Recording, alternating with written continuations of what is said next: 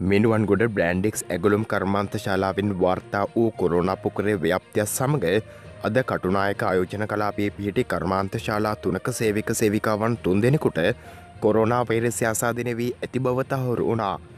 ආයෝජන මණ්ඩලය සඳහන් කළේ ප්‍රධාන පෙළේ කර්මාන්ත ශාලාවලින් මෙම ආසාධිතයන් වාර්තාවී ඇති බවයි. එම කර්මාන්ත ශාලා තුනේම සේවක සේවිකාවන් තුන්දාහකට වැඩි ප්‍රමාණයක් සේවය කරන අතර ඔවුන් අද පේසිR පරීක්ෂණවලට ලක්කිරීම ආරම්භ කළ බවයි එම මණ්ඩලය කියා සිටියේ.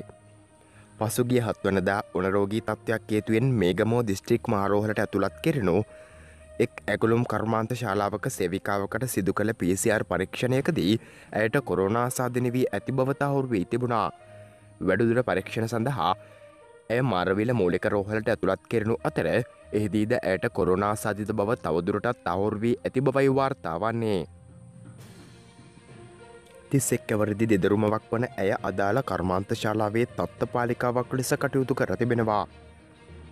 එමෙන්ම මේ වන විටත් ඇගේ සාමිපුරුෂයා දරුවන් දෙදෙනස ආශිතයන් නිරෝධායනය සඳහා යොමු කර තිබෙනවා.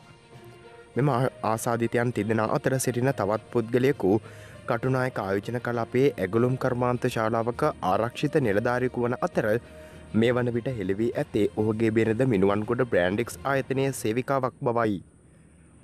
අනෙක් ආසාධිත සේවිකාව මිනිවන්ගොඩ බ්‍රෑන්ඩික්ස් කර්මාන්ත ශාලාවේ සේවය කර කටුනායක ආයෝචන කලාපේ ඇගුළුම් කර්මාන්ත ශාලාවක සේවය සඳහා පැමිණි අයකු බවට අනාවරණය වී තිබෙනවා.